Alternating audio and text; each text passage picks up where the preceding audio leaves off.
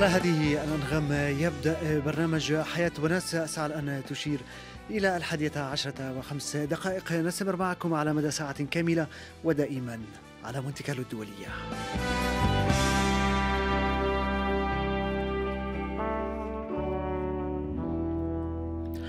نوجه التحية إلى تيبو من هندسة الصوت وإلى رشح عبود من التنسيق اليوم في حياة وناس نناقش إشكاليات فهم وتطبيق العلمانية في العالم العربي.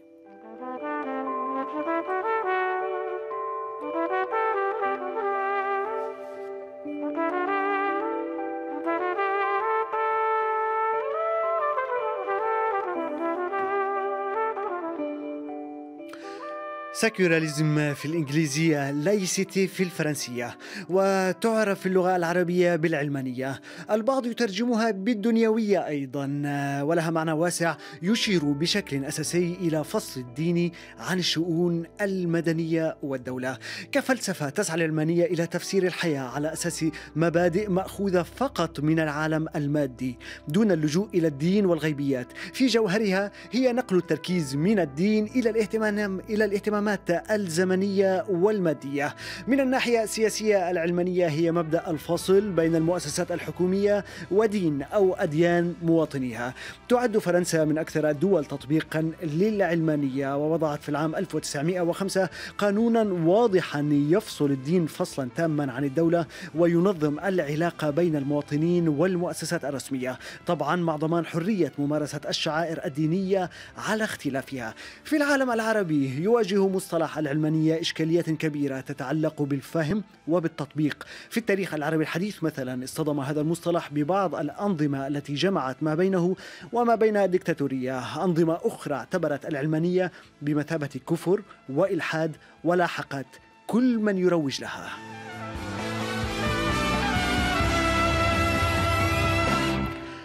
اليوم في حياتنا سنناقش الموضوع مع مجموعة من الضيوف دكتور جمال الشلبي أستاذ العلوم السياسية في الجامعة الهاشمية. ينضم إلينا أيضا الأستاذ حبيب عبد الرب السروري الروائي والأستاذ في علوم الكمبيوتر. تنضم إلينا أيضا الشاعرة والمدافعة عن حرية العقيدة جمانة مصطفى. ينضم إلينا الشاعر والإعلامي جوزيف عيساوي. وتنضم تنضم إلينا أيضا الكاتبة والأستاذة المساعدة بمعهد العلوم السياسية بجامعة زيورخ السويسرية السيدة إلهام المانع.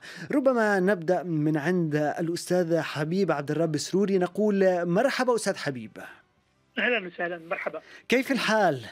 كل شيء تمام كويس مناسب. سعداء سعداء بسماع صوتك أستاذ حبيب. أستاذ حبيب كمان والله. أستاذ حبيب لماذا هذه الإشكالية؟ هناك إشكالية في الفهم.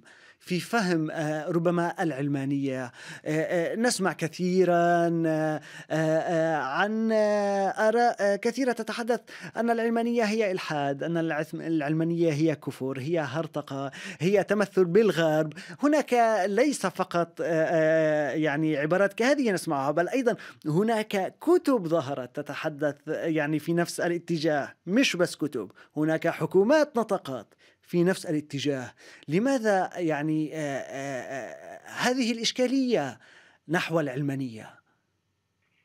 هو الحقيقة طبعا هناك أسباب تاريخية في واقعنا العربي نعم. والإسلامي بشكل خاص.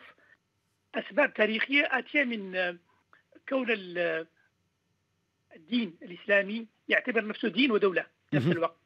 يعني ارتباطه بالمنظومة المعرفية والسياسية والثقافية ارتباط آه، آه، يعني قوي جدا جدا. نعم. أدخل نفسه أقحم نفسه في جميع آه، مسائل الحياة العلمية والمعرفية والى آخره. وبعدها السبب الآخر انه القوى الإسلام السياسي طبعا شوهت مفهوم العلمانية تشويه كامل. أعطت صورة أنه هو يعني جزء هو هو رديف للإلحاد بينما كما زي ما انت قلت قبل شوية نعم. هو بالعكس يعني هو أكثر من يعطي للأديان آه، المناخ المناسب لتطبيق للحياه لحياتها الطبيعية بس في في, الواقع الخاص. نعم. بسبب بسيط جدا إنه يبدو أنتم لم تذكره في في مقدمتك. نعم. ألا هو ألا وهو مسألة حرية الضمير. حرية الضمير آه، أحد أركان العلمانية الرئيسية بجانب فصل الدين عن الدولة وإلى آخره وحريه الضمير هي باختصار أن تؤمن أو لا تؤمن أو تغير دينك يعني عندك حرية كاملة لأن هذه قضية شخصية بحتة. نعم أه، يعني يعني بهذا أنت توضح أه، حبيب عبد الرب السوري أنت توضح وتقول أن العلمانية لا تتعارض مع الدين عكس أه، ربما ما يشاع مثلا في بعض المجتمعات العربية. اطلاقا هي أكثر من تحترم الأديان باعتبار أنه الدين قضية شخصية. أما أنه الدين يورط للدفاع عن الحاكم للدفاع عن الدكتاتور كما هو كل تاريخنا الموجود حاليا نعم. للدفاع عن أنظمة إجرامية. آه هذه أكبر إهانة للدين بالنسبة لي. وحدها العلمانية هي من تنقذ الدين من هذه الورطة. ورطة طويلة جدا عمرها 14 قرن نعيشها. الدين دائما بيد الحاكم وسيلة لقمع الناس لسجن الناس لتعذيب الناس. ففي الأخير بينما العلمانية تخرج الدين كلية من هذه الأشياء. نعم. ومش فقط كذا أيضا آه، تطور المعرفة. المعرفة آه، تعرف العلم الحديث منفصل انفصال كامل عن الدين. رؤيته للكون وللحياة معاكسة لرؤية الدين. نعم. إنك تترك الدين آه، يقحم نفسه في هذه القضايا يعني يعيق التطور يعيق المعرفة يعيق نعم. تطور العقل. جميل. أستاذ حبيب. مكبوت. عفوا. أستاذ حبيب يعني آه، في كتابك المعنون بمقولة الشاعر أبي العلاء آه، المعري لا إمام سوى العقل تشدد على أن الوقت قد حان لإيجاد دراسات فاعلة وقراءات علمية للدين والمسلمات. يعني آه، لهتك التعتيم الذي يغلف العقل العربي منذ عقود طويلة. هل تعتقد أنها مشكلة ثقافة وتعليم أيضا؟ ليس فقط مشكلة آه، أنظمة وربما أحزاب سياسية أو أفكار إسلاموية إلى آخره؟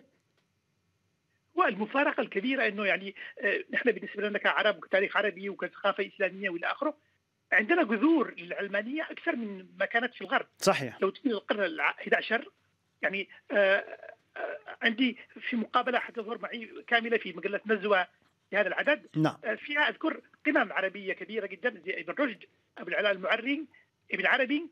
كانت هذه القمم آه، شكل من أشكال من من من مفكري أنوار قبل عصر الأنوار اللي هو القرن 18 زي ما أنت عارف. فليقول عندنا جذور للعلمانية. أبو العلاء فصل إنه إثنان أهل الأرض لا آه، زي ما أنت عارف يعني ذو عقل بلا دين دين بلا عقل وآخر دين لا عقل له. يعني عمل فصل كامل جدا. قبله وبعده بشوية آه ابن رشد آه تكلم قال نعم. الدين كرة والعقل كرة ولا تقاطع بينهما. الأولى مبنية على العقيدة والإيمان والثانية مبنية على العقل والبرهان. نعم. فكان هذه جذور عظيمة جدا لو كنا لو استفدنا منها. لكنا قبل الآخرين في العلمانية. نعم. باعتبار إنه ظهرت أفكارها عندنا كعرب وكفكر عربي قبل الآخرين. جميل. أستاذ حبيب ما حصل إنه الانحطاط بعدها عفوا. نعم. آه، آه، آه، الانحطاط يعني سنصل ربما يعني لنتحدث إلى ما حصل بعدها. ولكن قبل ذلك أريد أن أتوجه إلى الشاعره والمدافعه عن حرية العقيدة جمانة مصطفى تنضم إلينا. نقول مرحبا جمانة. مرحبا بكم بالجميع كيف الحال؟ ممتاز الحال. آه، آه، شكرا لاستضافتي مع هاي المجموعة النيرة من العقول. آه، سعداء سعداء بكونك معنا. جمانة مصطفى كتبتي منذ فترة أنت أنت مثقفة وشاعرة. كتبت كعلمانيين جبناء نخاف أن يحدث معنا ما حدث مع صامويل باتي هو المدرس الذي قتل في فرنسا. ومع فرج فودة ومع ناهض حتر ومع آلاف السوريين والعراقيين والأفغان من غير المعروفين ممن قتلوا على يد الإسلامويين. هل بهذا وكأنك عم بتقولي جمانة أن هناك خشية أيضا لدى كل مثقف أو كل أحد يمكن ربما آه، أن يتكلم عن مواضيع آه، تتعلق بالحريات؟ مثلا أن يلاقي نفس المصير الذي لقاه مثلا الأسماء التي ذكرتها في منشورك. هل هذا كان ما قصدته؟ آه، إلى حد كبير نعم. طارق يعني كعلمانيين حين نتصرح أو كاشخاص آه، نؤمن بحرية الاعتقاد أو الضمير كما أشار إلى الدكتور. آه، حين نرغب بالتصريح عما نفكر به. لسه أنا ما وصلت لمرحلة ننادي به. تمام؟ أو التعبئة له تدخل هذه الحسابات في رؤوسنا. حسابات الخطر حسابات أن نعاقب بحكم فتوى أو بحكم تحريض في مسجد. وحدث حدثت كثيرا يعني. تحديدا حين تكون تعيش في العالم العربي وتكون منتهك تماما سواء كاسم أو كشخص أو كحرية. نعم. يعني حرية حياة حرية انتقال. فطبعا هذه الحسابات تدخل في رؤوسنا. من الصعب اليوم إنك تختار بين حريتك الشخصية وحريه حريتك الشخصية بطرح أفكارك بمعنى وسلامتك الشخصية. وما بعتقد إنه في علماني عربي ما بفكر كل مرة بكتب بانه في احتمال ولو بسيط بانه يتعرض لايذاء هو أو عائلته بسبب هاي الفكرة. نعم. طيب آه، جمانة نتمنى أن تبقي آه، معنا أريد أن أتوجه إلى الشاعر والإعلامي جوزيف عيساوي ينضم إلينا من لبنان نقول آه، مرحبا أستاذ جوزيف صباح الخير طارق لك ولضيوفك آه، يعني جوزيف يعني آه، آه، المعروف عن الشعراء الشعراء لا يكترثون بشيء. الشعراء يعني هم يعني هم ربما أدواتهم الأساسية هي الجرأة والاقتحام. استمعنا إلى صوت جمانة جمانة مصطفى. هل إلى هذه الدرجة ربما حرية الرأي والتعبير مقلقة ومخيفة في بلدان العالم العربي؟ أكيد خاصة لما بيتعلق الموضوع بالسياسة أو بالدين وكمان بمحرم ثالث هو الجنس لأنه الجنس يستعمل من السياسيين والمؤسسة الدينية لترويض الأفراد وإخضاعهم وتشويشهم وبالتالي سيسهل السيطرة عليهم. أكيد في حرية الاعتقاد بشكل أساسي خليني فوت دغري على أعطي مثل لبنان على سبيل نعم. المثال بالدستور اللبناني آه، المادة تسعة الملتبسة جدا يلي بتنص حرفيا بتقول حرية الاعتقاد مطلقة والدولة بتأديتها فروض الإجلال لله تعالى تحترم جميع الأديان والمذاهب وتكفل حرية إقامة الشعائر الدينية تحت حمايتها على أن لا يكون في ذلك إخلال بالنظام العام نعم. وهي تضمن للأهلين على اختلاف في ملالهم احترام نظام الأحوال الشخصية والمصالح الدينية هالمادة آه، الخبيثة يعني يلي بتنص على حرية الاعتقاد بتوصفها بالمطلقة دغري بترجع بتقول والدولة بتأديتها فروض الإجلال لله تعالى نعم. تحترم جميع الأديان والمذاهب وكأنه هناك طيب. تناقض آه. في إنه حرية اعتقاد مطلقة بعدين الدولة بتأدي فروض الإجلال لله تعالى. يعني كيف الدولة يلي هي مؤسسات وسلطات كيف بتأدي فروض الإجلال؟ ما يعني ما فهمنا كيف يعني المشرع مجلس النواب آه هو وعم بيشرع كيف يعني بيأدي فروض الإجلال؟ آه وبعدين لله تعالى يعني حددت الألوهة المتعالية يعني البوذي أو الهندوسي أو الصوفي أو من يؤمن بالحلولية يعني الألوهة غير المتعالية أو المنفصلة عن الكائنات والطبيعة إنه هيدي آه، مش هي آه، الألوهة التي تعترف بها الدولة اللبنانية نعم. بعدين آه، المسيحية على سبيل المثال الإله في المسيحية هو غير الإله المتعالي الذي في الإسلام نعم. حيث التوحيد المطلق نعم جوزيف المسيح إله تجسد نعم. المسيح إله تجسد بالتالي يعني حسب أي أي الوهه يعني الدولة حين تقول آه، آه، فروض الإجلال لله تعالى يعني الإله المتعالي يعني هل الإله المسيحي حسب اله غير نعم. معترف به أو أقل جوزيف به من قبل الدولة اللبنانية؟ لو سمحت لي نعم. واضح. جوزيف آه، عيساوي لو سمحت لي يعني آه، في تشرين الأول العام الماضي آه، احتجاجات عارمة شبهها البعض بالثورة والانتفاضة عمت الشوارع اللبنانية. كان هناك مطالبة بدولة مدنية علمانية وكأن العلمانية كانت يعني هذا طوق النجاة الذي قد ينتشل لبنان من من الطائفية مثلا هل تعتقد أنه طرح كهذا يمكن أن يتحقق قريبا في لبنان؟ ما الذي يمنع من نظام علماني أو من دولة علمانية في لبنان؟ النظام الطائفي لبنان دولة بنيت على أساس طائفي منذ متصرفية جبل لبنان التي ظهرت بضغط من الدول الأوروبية على السلطنة العثمانية بسبب الاضطهاد المستمر للمسيحيين الموارنة. نعم. وعلى هذه المتصرفية أعلنت العام 1920 دولة لبنان الكبير ثم صدرت قوانين العام 1926 ومن ثم ميثاق العام 43 وصولا إلى اتفاق الطائف 1990 الآن في الوقت الراهن هل مم. الآن في الوقت الراهن هل الذي ممكن نص على إلغاء الطائفية السياسية لكن إلغاء الطائفية السياسية وصولا إلى دولة مدنية كاملة تقترب من الدولة العلمانية يعني دونه مصالح آه الطوائف المؤسسات الطائفية المؤسسات الدينية ومصالح زعماء الطوائف في تحالفهم الشيطاني مع المؤسسات الدينية. وكأنك عم بتقول الموضوع إيه وكأنك عم بتقول الموضوع هو مش موضوع دين بقدر ما هو موضوع سيطرة وكأنه السلطات آه، آه، هي تستخدم ربما هذه الأداة آه، للسيطرة. جوزيف سنعود إليك مرة أخرى ولكن أريد أن أنتقل إلى الأردن. الأستاذ جمال الشلبي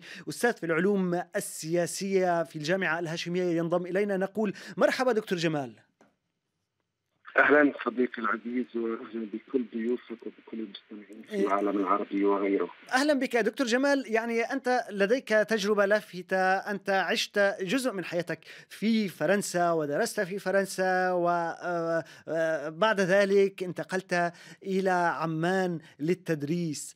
آه، هل فعلا البعض يقول البعض يقول مثلا أنه العلمانية هي قد تتعارض مع حياة مجتمعات محافظة وأنت عشت في فرنسا مجتمعات ربما منفتحة وربما آه، مجتمعات يطلق عليها بالمحافظة كالأردن وغيرها من البلدان العربية هل فعلا تتعارض العلمانية مع نمط حياة مجتمع محافظ مثلا؟ بالتأكيد لا أنا أتيت من بلد آه، أردني عربي منفتح إلى حد ما عكس العديد من الدول العربية. يعني أنا أظن يجب التمييز بين يعني لا يجوز لنا أن نقول أن العالم العربي كله مغلق أو محافظ.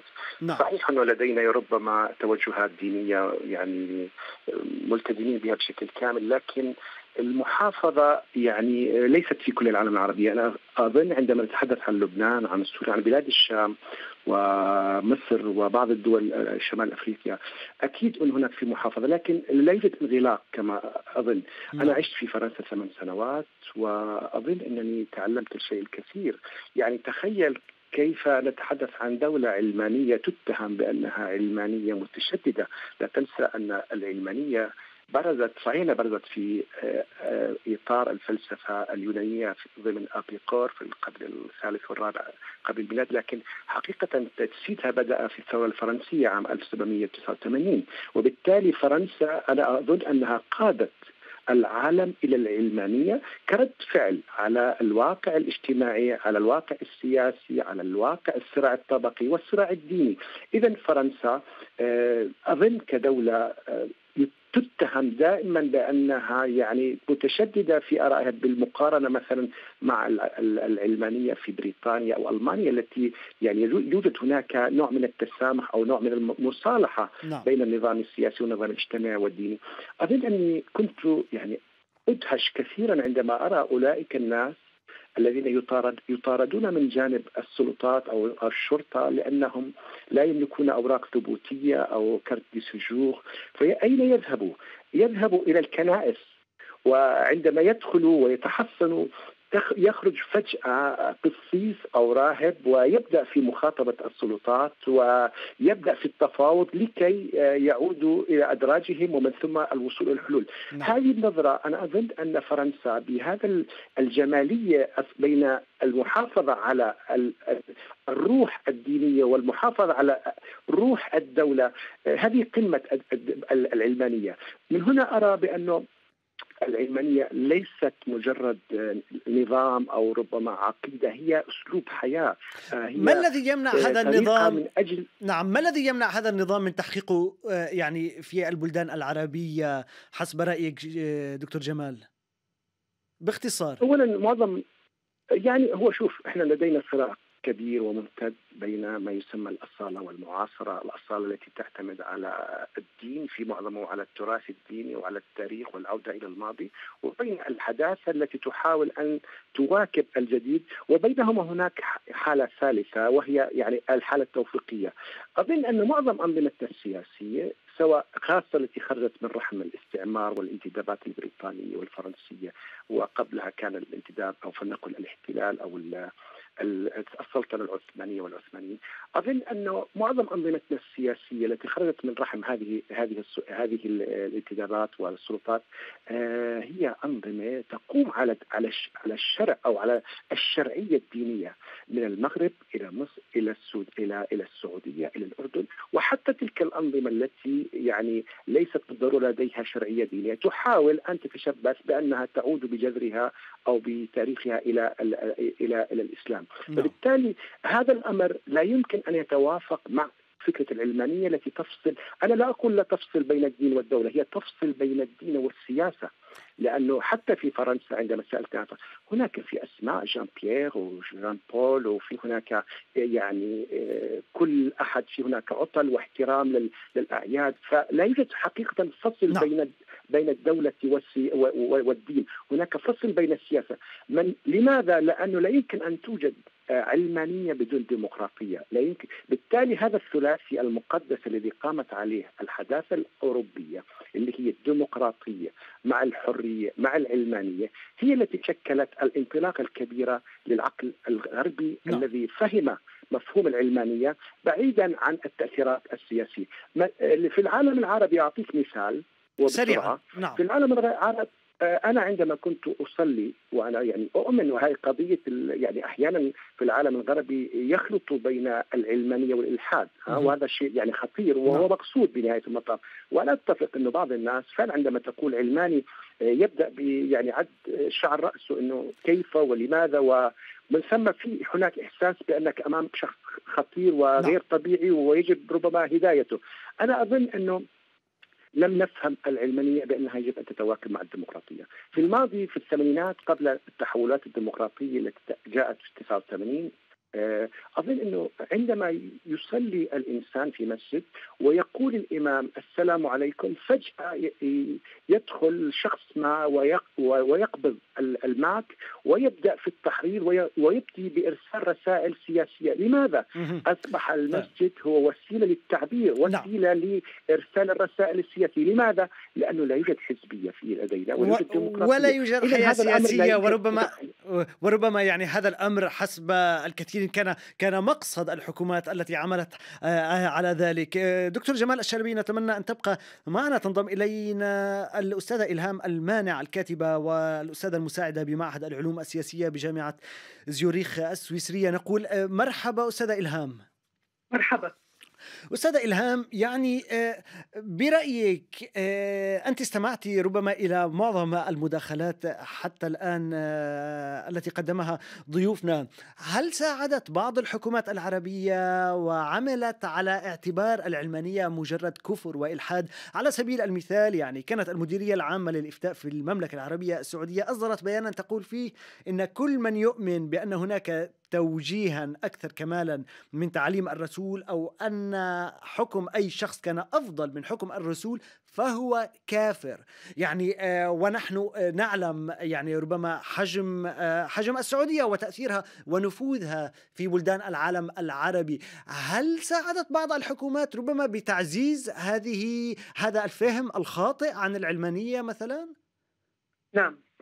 آه نعم أستاذي. تحديدا آه، أنت وضعت يدك على آه، على جوهر المشكلة تحديدا وهي التضافر والاعتماد المتبادل بين الدولة وبين السلطات الدينية.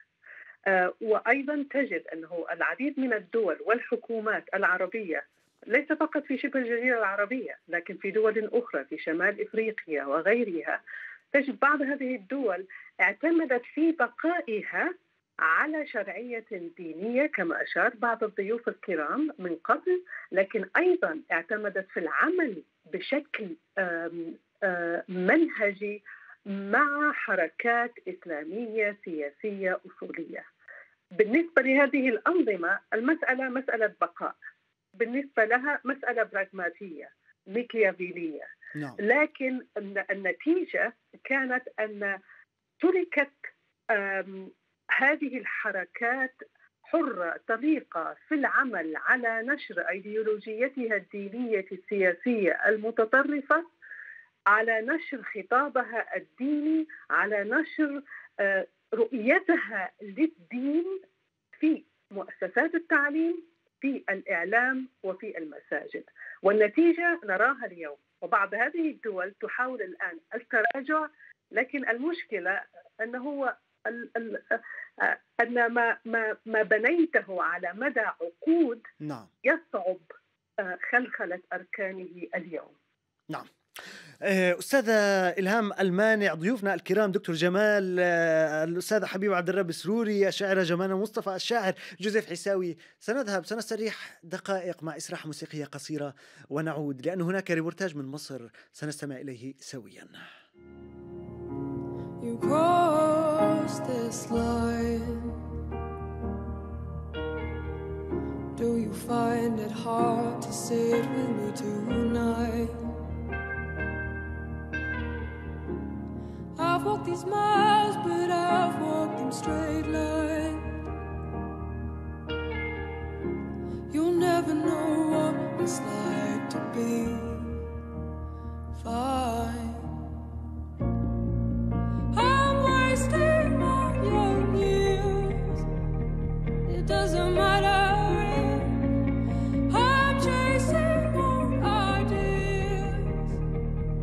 Doesn't matter.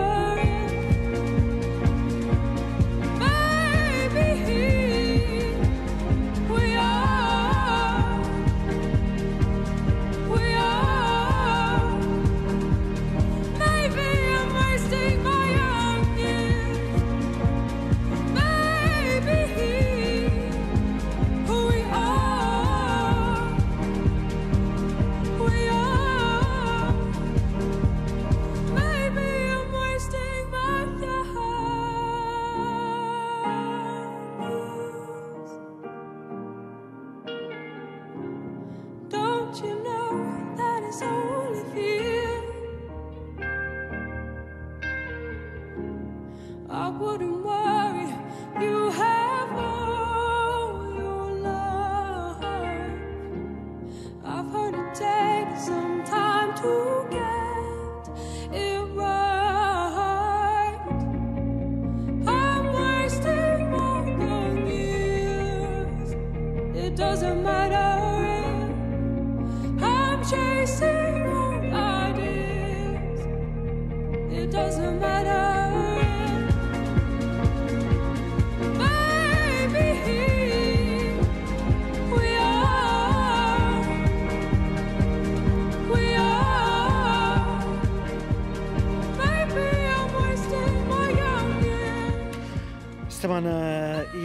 London Grammar وأغنية Wasting My Young Years ونواصل برنامج حياة وناس. حياة وناس طارق حمدان. اليوم نتحدث عن إشكالية فهم وتطبيق العلمانية في العالم. العربي أريد أن أوجه تحية والترحيب مرة أخرى لضيوفنا لهذا اليوم. أدعو الضيوف وأدعوكم مستمعينا للاستماع إلى هذا التقرير الذي أعدته الزميلة دينا إبراهيم مراسلة مونتيكالو الدولية في القاهرة. العلمانية هي أكثر المصطلحات الشائكة في الدول العربية والإسلامية، فرغم أنها مصطلح تنظيمي سياسي يعني ببساطة فصل الدين عن الدولة ونظامها السياسي، إلا أن الغالبية ينظرون إليها كمصطلح ديني بحت، يعني بالنسبة لهم إلغاء الطابع الديني في المجتمعات بل ويخلطه البعض في كثير من الأحيان بالإلحاد وهو ما تسبب في إسالة الدماء عبر السنين بين المتشددين الدينيين وبين النظم السياسية القائمة على أساس غير ديني كما يوضح الكاتب الصحفي سيد جبيل. الحقيقة إن العلمانية مصطلح يثير الحساسية بيصطف في تعريفها. فريقين ما فيش بينهم أي نقطة التقاء. فريق بيكفر بالعلمانية وبيعتقد أنها كفر بواح ايمانا منهم إن الحكم ليس إلا لله وبعضهم بقى مئات بل آلاف من الشباب اللي بيفجر نفسه انتقاما من النظم الكافرة التي يعتقد أنها تحكم بغير شرع الله. في المقابل في ملايين من العلمانيين اللي بيعتقدوا أن العلمانية هي طوق النجاة للعالم الإسلامي قبل أن تكون طوق نجاة لكل العالم. واعتقادا منهم أنه بدون العلمانية هنتحول إلى دول بتحتوي على مجموعة متناحرة من الطوائف الدينية اللي كل واحد فيهم بيستبعد الآخر لأنه على قناعة أنه فقط على صواب. ورغم المحاولات المستديمة لشرح الفارق بين العلمانية كنظام سياسي وبين الدين إلا أن العلمانية تظل مصطلحا منبوذا عند الكثيرين. الدين ده هي رجستنا يعني. هي ده ده, ده اللي إحنا المفروض نمشي عليه وراه. أما العلمانية والكلام ده ده حاجات جايبينها من بلاد بره من أمريكا و... ومن أوروبا. بس طبعا الواحد لازم يكون في ديانته أهم حاجة. ما هو من يوم ما فصلنا الدين على الدولة وكل حاجة باظت. الحل الناس ترجع لربها. بينما يدرك بعض المثقفين أن هناك اسبابا لتخويف الشعوب من العلمانية. عشان مجتمع رجال الدين مسيطرين عليه سواء كان رجال دين مسلمين أو مسيحيين مفهمينهم لأن العلمانية هي اللي هتكشف التجارة بالدين التجارة رابحه طبعا كلنا متفقين عليها فبيفهموا الناس البسيطة صبح وظهر وليل إن العلمانيه يعني كفر. ومنذ محاولات الإسلام السياسي السيطرة على الحكم في الكثير من الدول العربية نادى الكثير من المتخصصين بفصل الدين عن الدولة لتجنب بحور الدماء الطائفية. دكتور خالد عكاشة مدير المركز المصري للفكر والدراسات الاستراتيجية. هو مع فكرة الدولة مع فكرة المواطنة مع فكرة وضع الدين في سياقه الطبيعي بعيدا عن هو يتاجر به الدين بيمارس عبادة ما بيني وما بين ربي بيمارس في الجامع في الكنيسة في المعبد بعيدا عن إن أنا أنزله وأتعامل بيها في منازعاتي السياسية والاجتماعية. ولهذا تعتبر الصراعات بين الراديكاليين الدينيين والنظم العلمانية السياسية من أفدح الصراعات التي دفع المدنيون ثمنها منذ القرون الوسطى وحتى الآن. دينا إبراهيم من القاهرة مونت كارلو الدولية. إذا سمعنا إلى هذا التقرير الذي أعدته زميلة دينا إبراهيم. من القاهرة أريد أن أتوجه إلى الأستاذ حبيب عبد الرب سروري الروائي والأكاديمي. نرحب بك مرة أخرى أستاذ حبيب. وسهلا جديد. أستاذ حبيب يعني هناك من يقول المجتمعات العربية هي مجتمعات متدينة هي مجتمعات قريبة. إلى الدين، الدين هو هو جزء مهم من تكوين هذه المجتمعات، وهناك خشية أيضا يعني على أن يعني إن دخلت العلمانية إلى بلد ما ممكن أن أن أن تؤثر على علاقة الفرد مثلا بدينه أو علاقة المواطن بدينه، ما رأيك بهذا الطرح؟ هو طبعا الإشكالية الكبرى بالنسبة لي أنه مجتمعاتنا مجتمعات أمية الأمية موجودة بها بنسبة 60 إلى 80% نعم. آه هذا هذه المشكلة الأكبر. آه إضافة إلى هذا زي ما قلنا يعني عقود كام مش عقود قرون كاملة من أنظمة سياسية ظلامية متحجرة. آه يعني ضربت التعليم ضرب كامل جدا. حولت التعليم إلى وسيلة ل يعني أن تتعلم في دولنا. غالبا هو كيف لا تتعلم أصلا. نعم. يعني يحولوك إلى إلى خروف آه تابع للرؤية سائده العقل يعني يمحى محو كامل بينما العلمانية هي الوسيلة الكاملة باعتبار أنها تبعد كل المسلمات الدينية والأيديولوجية عن العلم. تتعلم العلم بطريقة آه حديثة بدون أي خطوط حمراء. التفكير ينطلق بشكل كامل. فهي وسيلتنا للخروج من من هذه الأزمة. يعني إن هل هل هي مشكلة تعليم أستاذ حبيب؟ لا التعليم حيساهم يعني. التعليم ضروري جدا جزء كبير من تغيير المجتمع و و يعني تسليحه بعلم أو إنه إنه يكون في إطار العلمانية وسيلة حقيقية لاستخدام العقل لتفجير ملكات العقل. بينما في في في واقع في المجتمع الديني ينغلق العقل يتحول الإنسان في افضل الحالات إلى تقني نعم. مستعد إنه يكون مهندس في, أفضل الأحوال أو طبيب. لكن لا يمكنه لا يمكنه يصنع فكر لا يمكنه يصنع معارف لا يمكنه لا يمكنه توجيه أسئلة جوهرية للبحث العلمي للتغيير إلى آخره. نعم واضح. فل... أستاذ حبيب اسمح لي أن أنتقل إلى شاعرة جمانة مصطفى. جمانه ممكن أقول كلمة صغيرة قبل تفضل. ما عفوا. طبعا نحن نتكلم باستمرار عن فرنسا كالعلمانيه هناك أيضا اليابان في دستور اليابان. نفس الدستور الفرنسي في جانب العلاقة بالدين إلى آخره. فأعتقد العلمانية هي فكرة اسمه فكرة فكرة حديثة سائدة في كل المجتمعات المتطورة جدا وإلى آخره. التركيز على فرنسا حاليا ربما لأنه أخيرا أرادت آه، تحجيم دور الأئمة اللي واجهين من أنظمة ظلامية وهابية أو من تركيا وإلى آخره اللي أرادوا اللي غيروا آه، أفكار كثير من الشباب. فربما هذا هو لهذا التوجيه والهجوم الكبير على فرنسا حاليا بسبب آه مع إنه يعني إيه ذكرت تركيا على سبيل المثال مع إنه تركيا يعني آه, آه، رسميا هو نظام علماني.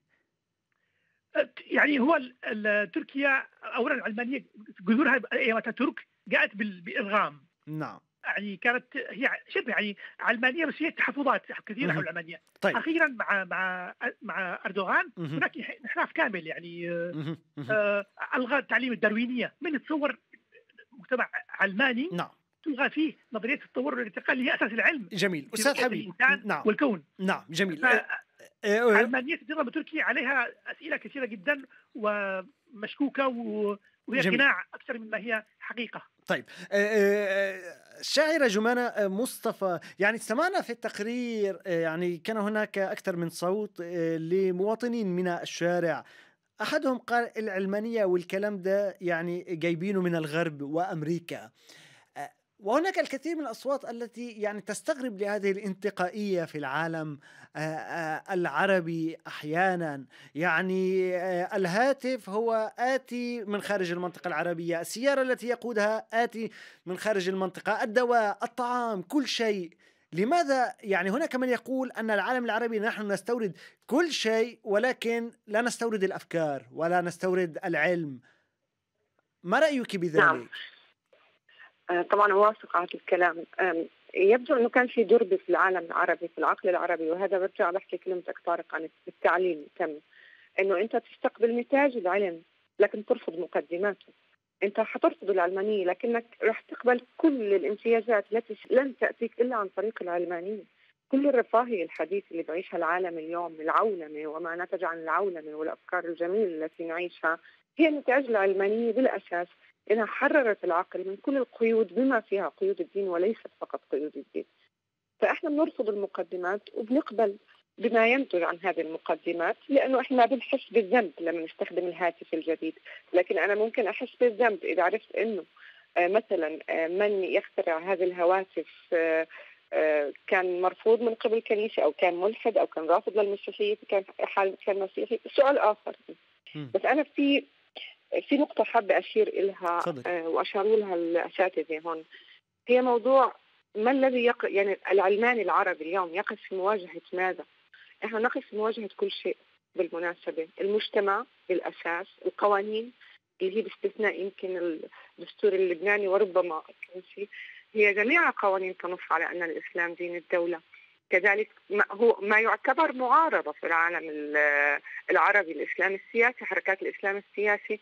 اللي هي تعتبر معارضة عند الدولة لكن الدولة تطلق يدها آه، في المجتمعات لتربي خلينا استخدم هذا المصطلح كل من يعارضها. العلماني العلمانية كفكرة اليوم في العالم العربي هي نقطة صغيرة في بحر يقول لا للتجهيل لكل أشكال التجهيل. فبالتالي أنا كشخص علماني اليوم أقف آه، الكل ضدي. المعارضة التي يعترف بها كمعارضة اللي هي الإسلام السياسي في العالم العربي القانون والدولة بكل أدواتها والمجتمع بكل أدواته وأدفع أثمان مرتفعة جدا. في حال صرحت بهذا الشيء وتحديدا كامرأة لكن لن أخوض في الموضوع الجنسي اليوم يعني. نعم. فبالتالي نحن لا نقول من من الذي يحارب العلمانية. يكفينا المال الذي ينفق على موضوع التسجيل في العالم العربي. بكفيك كتب مصطفى محمود التي لا زالت تطبع بالآلاف كل يوم. تقرير مصر ذكرني فورا بكتب مصطفى محمود. التي ساهمت على بساطتها بالمناسبة بتغذية هذا التسجيل إلى اليوم. نعم. طيب آه، جمانة مصطفى أريد أن أنتقل إلى جوزيف عيساوي. جوزيف عيساوي يعني وكأن هناك آه، ربما نظرة سوداوية نوعا ما فيما يتعلق آه، بالحريات بحرية المعتقد وبطبيعة الأنظمة في المنطقة العربية. هل أنت متفائل أم أن ربما هذه النظرة السوداوية هي قاتمة إلى هذه الدرجة؟ خليني طارق أحكي عن لبنان لأنه بعرفه منيح. لبنان دولة إلنا بنيت على أساس طائفي لكن فيها بذور دولة مدنية حقيقية.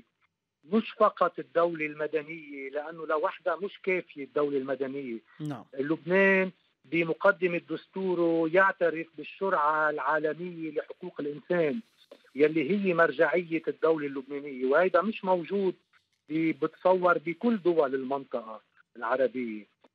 دو لبنان بهالمعنى دولة مدنية على مستوى آلية التشريع لكن خلفيتها ومرجعيتها حقوق الإنسان الشرعة العالمية لحقوق الإنسان.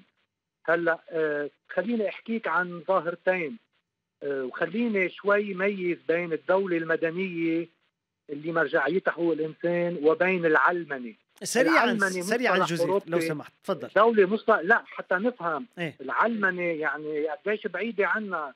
العلمنة يعني مصطلح أوروبي فرنسي تحديدا. طبعا له جذور بالقرن الأول للميلاد لكن بغير معنى.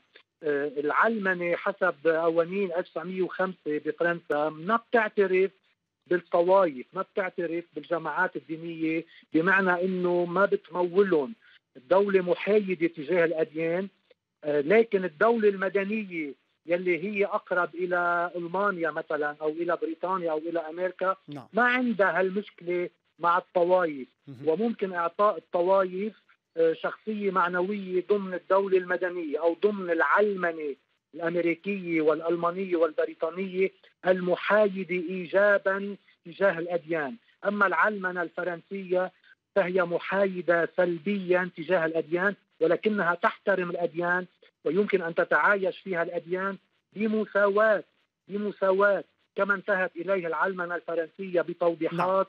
صدرت في قوانين العام 2004 على كل حال بالنسبة للبنان برجع للبنان. في لبنان دولة مدنية آه، مرجعيتها الشرعة العالمية لحقوق الإنسان.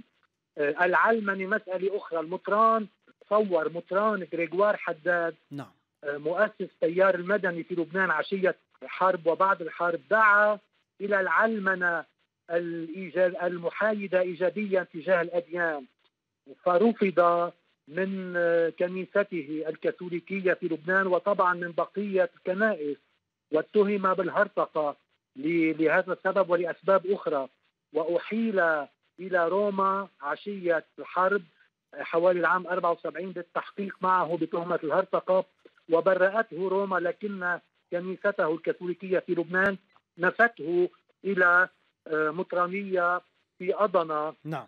تقريبا لم تعد قائمة ثم أعادت إليه الاعتبار بعد عشرة أعوام. المهم غريغوار حداد مطران بيروت.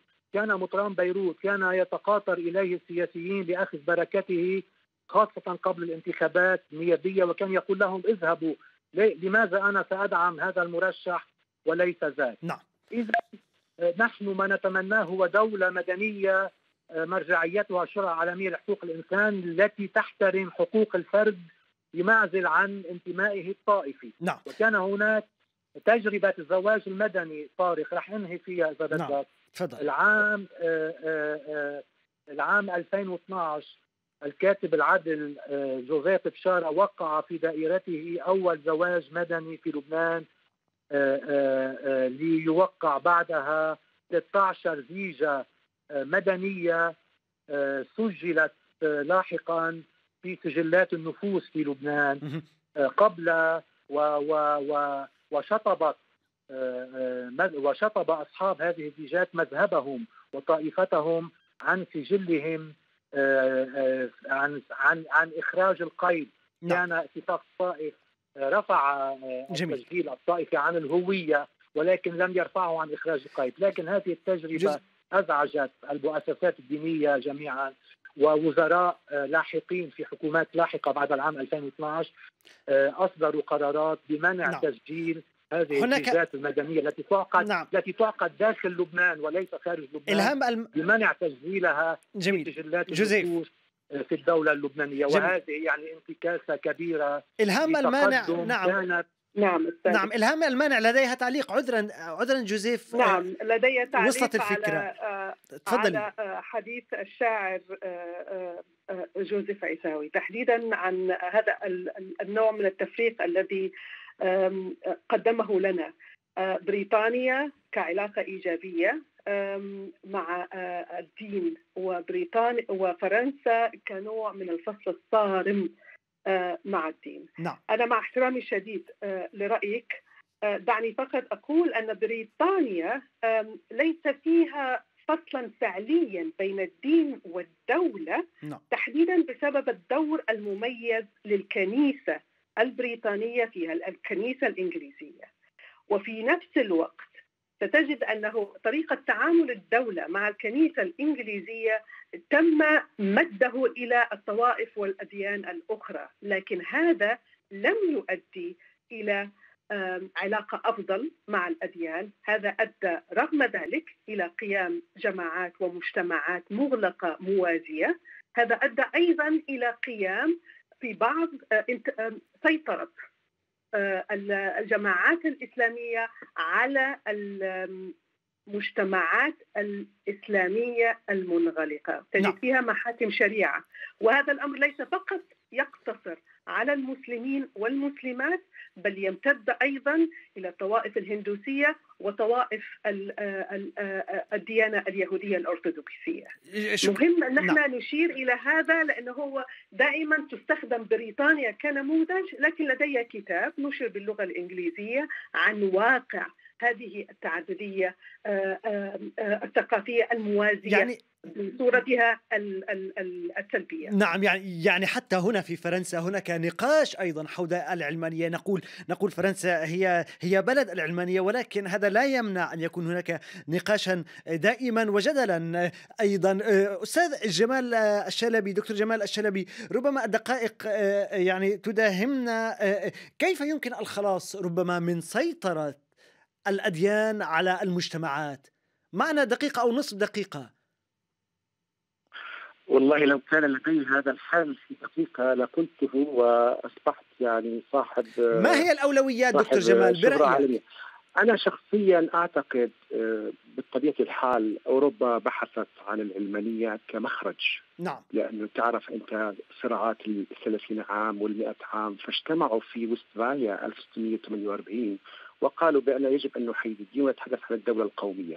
أظن أنا شخصيا أعتقد إذا هو قرار حكومي. طائفية بما أرى من حروب طائفية في العراق وفي نعم. طائفية في لبنان وحتى لو كانت توافقية وحروب أيضا في ليبيا وحروب في السودان نحن بحاجة ماسة إلى إلى هدنة تاريخية هذه الهدنة التاريخية يجب أن يعيها أولا القيادات السياسية التي فشلت في إدارة المجتمعات على أساس عرقي وديني لأنها لم تفعل، والثاني نعم. يجب إيجاد توعية كاملة عبر نحن نملك الآن فانوس علاء الدين في الاتصالات والمعلومات والتكنولوجيا. نستطيع أن نورد كل الأفكار المتعلقة بحماية الحاضر والمستقبل. المشكلة الفانوس بعض المرات يعني بيشتغل العكس دكتور جمال. ربما ولكن أعتقد التوجيه وهنا نعم. أذكر في قضية إنه إحدى إحدى يعني دكتور... نتائج العلمانية الحقيقية نعم. أن استطاعت أن تؤسس المدرسة التي تدرس فيها ابن العلماني والملحد ورجل وأبناء. رجال الدين. وأبناء كلهم في الأردن على سبيل المثال لديه خمس مدارس مدرسة حكومية ومدرسة أقل حظا ومدرسة دينية ومدرسة خاصة ومدرسة أجنبية للأسف. كيف ستشكل مجتمع نعم. هذه القضية أعتقد دكتور جمال. في كل العالم على كل حال بكلمة واحدة أقول نعم. نحن بحاجة إلى هدنة تاريخية هذه الهدنة التاريخية تتمثل وتتجسد برأيي الشخصي المتواضع عبر العلمانية المرنة التي نحتاجها ويحتاجها شكرا. الجنريشن نعم. القادم إن شاء الله. الأجيال القادمة. دكتور أستاذ دكتور حبيب عبد السروري عبد الرب السروري عفوا. كلمة أخيرة بنصف دقيقة أستاذ حبيب. تفضل. حول هذه المواضيع اللي ذكرناها. نعم. أيوه. طبعا نصف دقيقة. نعم نصف دقيقة. نحن بحاجة جوهرية وسريعة جدا لتعليم أو لكشف أو لشرح معنى العلمانية للجميع لأن هناك تشويه زي ما قلنا خطير جدا. توضيح العلمانية بدون ديمقراطية لا توجد. إنه عندنا بعض الكذوبات الكبيرة إنه بعض الأنظمة العربية القمعية الدكتاتورية يسموها علمانيه بينما هي يعني بالعكس عكس كامل يعني طائفيه أو أنها تفرض الدين أو تحول الدين إلى إمعة لخدمة الحاكم ول للدفاع عنه. فنحن بحاجة قبل كل شيء لشرح المفهوم. الشيء الآخر التركيز على التعليم. أعود من جديد لأنه موضوع مهم جدا جدا جدا. تحرير العقل من القيود اللي فرضته الأديان والعقائد حولها. لتفجير الملكات لدى الناس ولتطوير واقعنا العربي العربي اللي هو في زي ما انت عارف نعم. وضع متخلف ومؤلم. شكرا. كلمة أخيرة إلى جمانة مصطفى. جمانة مصطفى أنت شاعرة مدافعة عن حرية العقيدة وأنت تمثلين أيضا الجيل الجديد الجيل الشاب ربما. كلمة أخيرة نصف دقيقة. نصف دقيقة طارق. نحن بحاجة إلى عشرات أو ربما آلاف البرامج والنقاشات اليومية. كهذا البرنامج في العالم العربي وباللغة العربية وببساطة لكي آه، آه، نثير حرب المفاهيم من أول وجديد. أن يكون آه، أن تكون العلمانيه موازية لكلمة الإلحاد وبالتالي هي رخصة بالقتل هذا مرفوض تماما. وبحاجة إلى أن نفتح النقاش على مصراعيه بكل الطرق وعلى كل المنابر. وأعتقد أن هذا أفضل من فكرة أن يكون تغيير المفاهيم في التعليم أو في الإعلام فقط. نعم. شكرا لك.